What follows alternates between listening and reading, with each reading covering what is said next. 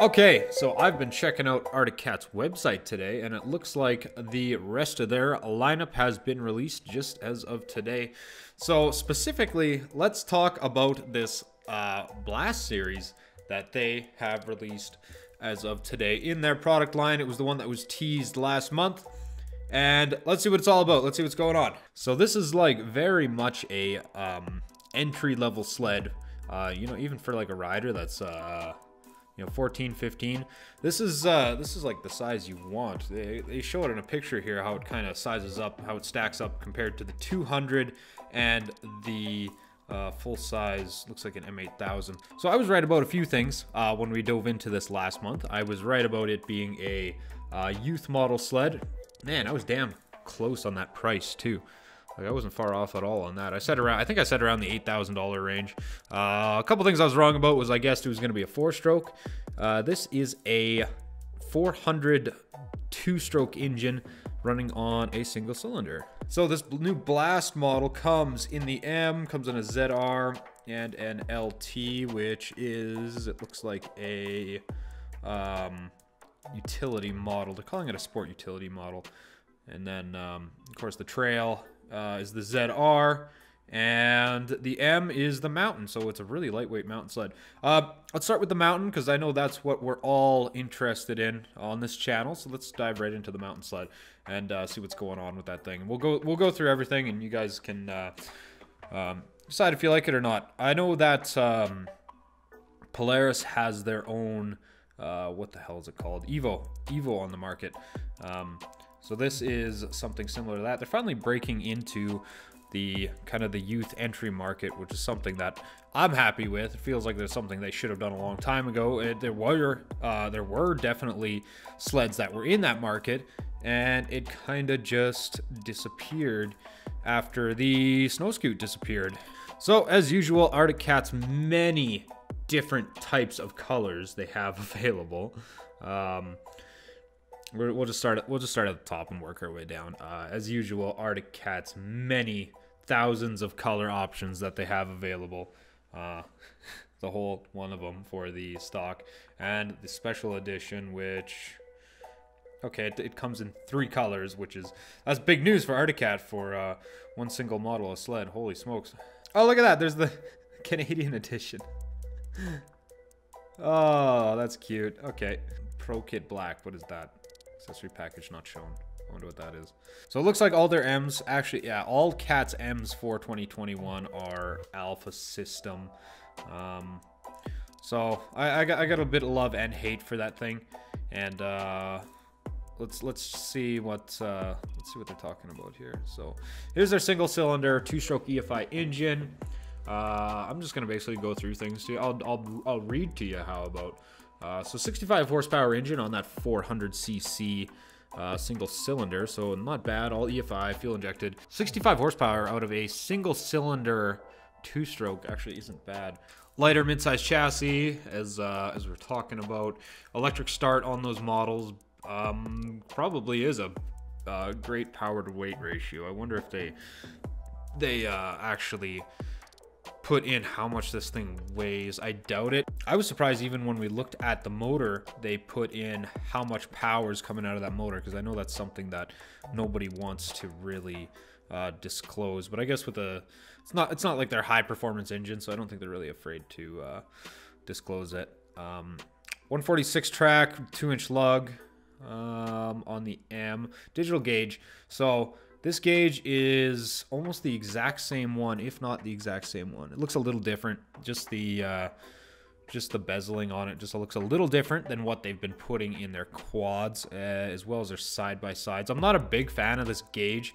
Um, it's kind of ugly. It doesn't really uh, cycle through the modes very um, smoothly, I, and especially when like a company like uh, Polaris has their color negative gauge, which looks good and is actually really easy to read. I, I like Polaris's mountain gauges. They look freaking sharp. It definitely changed up the chassis in a few spots here.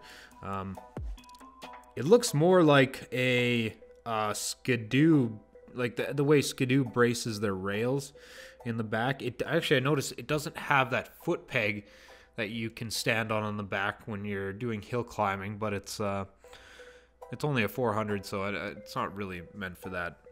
Like I'm, I'm always on my M's. I'm always using that little uh, that uh, tunnel gusset on the back of your um, your running boards that you can stand on and get a little more traction over. so let's move on to the Blast ZR. Uh, hey, look at that color. That's something that Cat has not done in a long time.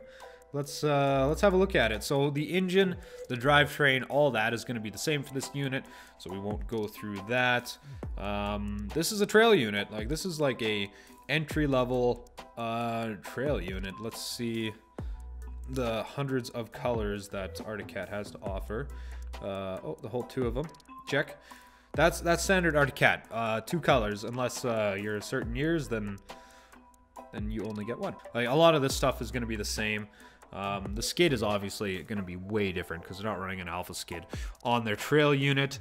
Uh, but this is what I said even here, is that that uh, that headlight really reminds me of the smaller units, and it is the Snowcross, the um, the 6,000 units too, had that same front end design. It was a little different, but really reminiscent of a smaller sled, which is why I called out the smaller sled.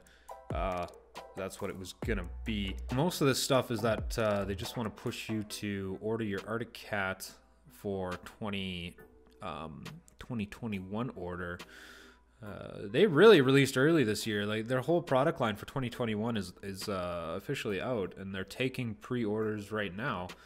Uh, as of today, I think they're taking pre-orders for your 2021 which is really early considering they're talking about ordering a sled for your 2021 season when you know the 2019 to 2020 season hasn't even started yet. Um, so they're really early to the game. I don't know if that's gonna help them or hinder them. You think uh, you think it would help people start get excited about it? A lot of time to a lot of time to think about what's uh, what's on the market anyway. Okay, let's go to the last one. Let's let's check out what uh, what's going on with this utility uh, LT unit. So very similar to the trail unit. Um, the skid is a little different. I can see that uh, there's a little more articulation in the back of the skid here, a longer track. I think it's a little bit more of an aggressive track as well.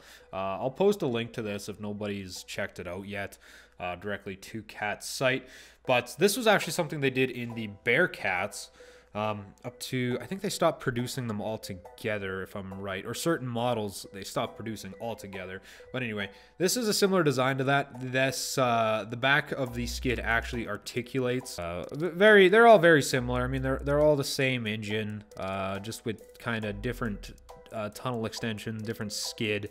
Um, probably a little bit different of suspension. Like th this one, we're down to a 1.6 inch lug, which actually still isn't bad. That's actually a Still a pretty big lug for a utility utility sled. Um, oh, let's let's uh, check out the colors. The whole I'm gonna guess there's one. Yeah, it's utility sled. They never they never give you more than one. Like what what like what here? What is the winter essentials kit?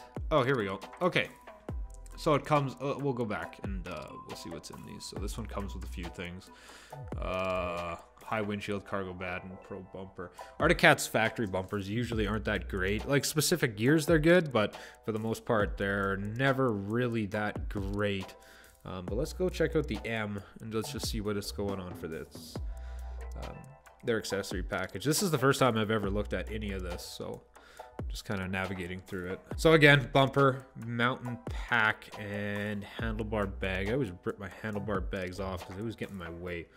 Um, but I'm sure a lot of people. This one is kind of more of a beginner sled, so it's not going to be in their way. Like it's always in my way, and I just rip the thing off. Like there's there's got to be a YouTube video on this, right? Like somebody would have, like somebody would have a like YouTube video on this.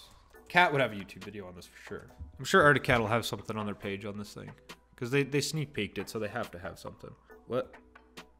What's going on? Is this the real Arctic Cat? What? Are you, so they have a video for the teaser, but they don't have a ride video or teasing anything. Come on. Well, there's your uh, there's your awesome marketing at Arctic Cat, as per usual. Nothing out of the ordinary there. Let's see, let's see what uh, Ruthless Motor has to say about it. Did this guy? this guy taped the webinar. That's funny because I, I got invited to it, but uh, I, I don't work for Arctic Cat anymore, so I didn't know the password to get into it. Okay, here we go. This is like when their webinar here. It's like more information that they've given in like the whole uh, Arctic Cat website here. Well, I'll just read through it. Uh, compact size, less intimidating for novice or smaller riders. Uh, provides ease of use, reliability, and maintenance and service. Price to fill the gap in the market. Electric start. So they say they say lightweight here. Near they say on the webinar here near 400 pounds. Um, that's kind of that's weird to me because that's getting into the area of RMK. Um, RMK weight, and we're down to a tiny little sled, and it being that uh, that same weight almost. Uh, liquid cooled, uh, CV Tech clutches. Uh, current stealth master cylinder lightweight brake caliper system new exhaust pipe same resonator as the 800 new air intake with under hood air draw new hood ascender skid plate and side panels same as the alphas halogen bulb, uh, power sport digital gauge. We talked about that. New seat, I guess. Um, 11.7 gallon gas tank, lightweight, one piece tunnel, uh, dual shock adjustable torsion springs. They call uh, the customizable decals just the Canadian and American flag.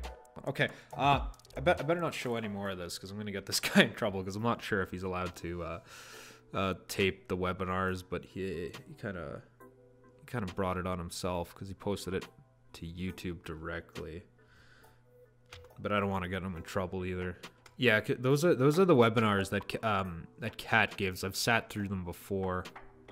Um, I don't want to get that kind of trouble. More trouble. He he already posted it uh, though, so it's uh it's kind of his own. He's kind of his own undoing. Oh, here we go. Here we go. This is what we want. All right. Uh, yeah. So the trail, the CV Tech clutches. Uh, this our AMS. Arctic Cat's been raving about that for a long time. That's that's nothing new. That's just their um, Arctic mountain suspension. So nothing, nothing really, really new there. Uh, where does it say it's ski stance? I'd like to know that. Estimated dry weight. Okay, so here we go. Uh, in the webinar, they said close to 400 pounds. Here they say nothing, and that doesn't surprise me because everybody's scared to publish their weight and usually their power too. So Ski Stance is 37 to 39. Uh, the Cats go down to 36 in their Mountain Series. So we're a little bit wider there, which maybe not be a bad thing for a new. I, I never run mine at 36 anyway because it's just too narrow. Yeah, I, I don't know what else to say about it. Uh, it, that's it's it's not about who have I been talking to on I've been talking to somebody on Instagram I think is uh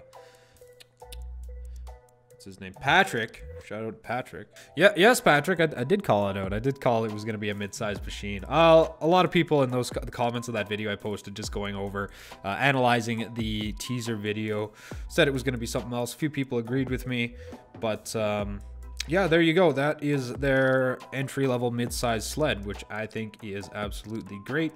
Uh, they have its like one advantage that uh, they have over the Evo is that um, they have three different models of this sled. So you have a trail model, a mountain model, and a um, utility model. So that's definitely a plus. Like it, it gives you more options. It, it opens up the market a little bit more. You know, for for uh, maybe uh, a kid who wants to get into the mountain.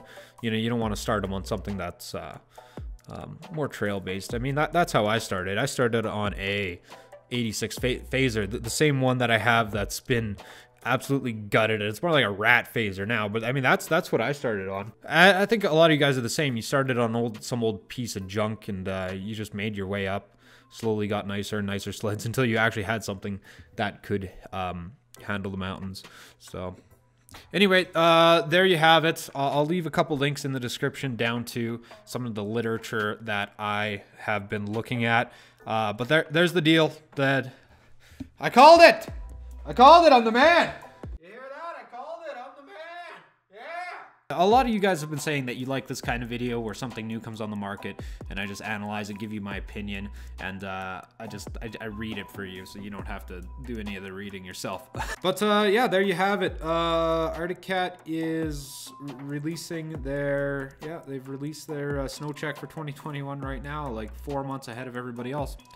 Um, that's all I got for today's video. Once um, once Polaris comes out with their own snow checks and um, as well as Skidoo comes out with theirs, I'm, I'm gonna kind of analyze those uh, those products too.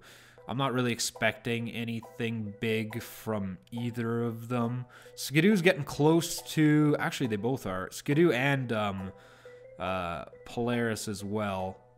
I think Polaris a little more so, is probably getting pretty close to needing a new chassis.